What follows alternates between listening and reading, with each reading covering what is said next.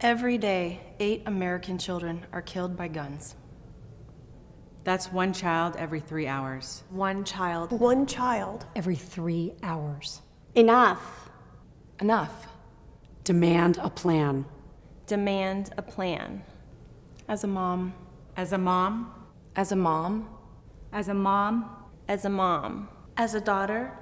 As a grandmother. As a grandmother. As a grandmother. As a wife. As a sister, As a friend, As a doctor. as a teacher, as a pediatrician, As an American. As an American. For the children of Sandy Hook, demand a plan. No more of our children. No more of our friends. No more of our moms and dads. No more remembering who they were. No more families wondering who they might have been. It's time. It's time. Demand a plan. right now.